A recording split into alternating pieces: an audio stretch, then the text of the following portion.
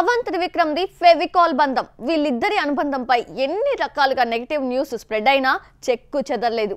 భీమ్లా నాయక్ విషయంలో అన్ని తానే చూసుకున్నాడు త్రివిక్రమ్. అయితే త్వరలో తెరపైకి వస్తున్న మరో రీమేక్ మూవీకి త్రివిక్రమ్ ఎందుకు దూరంగా ఉంటున్నాడు? హవలోక్ త్రివిక్రమ్ మెగా ఫోన్ పట్టాక బయట సినిమాలకు కథ మాటలు ఇవ్వలేదు. అయితే స్నేహితుడు పవన్ కళ్యాణ్ ఒక్కడే ఇందుకు మినహాయింపు. తీన్మార్ సినిమాతో పాటు భీమ్లా నాయకుకు మాటలు రాశాడు. భీమ్లా నాయకుకు సాగర్ చంద్ర దర్శకుడే అయినా అనఫీషియల్గా దర్శకత్వ పర్యవేక్షణ చేసింది త్రివిక్రమే. పవన్ మరో రీమేక్కు గ్రీన్ సిగ్నల్ ఇచ్చాడు. తమిళంలో హిట్ అయిన వినోదయ సిత్తం రీమేక్లో పవన్ నటిస్తున్నాడు. సాయిధరం తేజ్ హీరోగా కాగా ఇంపార్టెంట్ అండ్ లెంతీ రోల్లో పవన్ కనిపిస్తాడు.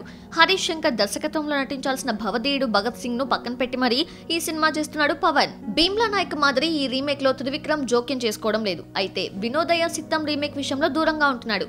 ఒరిజినల్ వర్షన్ తీసిన సముద్రఖని ఈ రీమేక్ను డైరెక్ట్ చేస్తున్నాడు.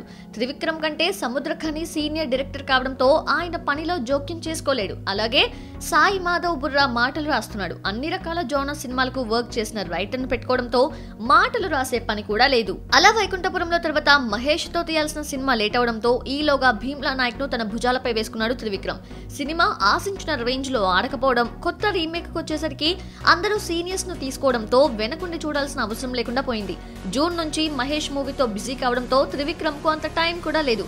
ఇలా మాటల మాంత్రికుడి ప్రమేయం లేకుండా వినోదయ సిద్ధం తెలుగు రీమేక్లో పవన్ నటిస్తున్నాడు.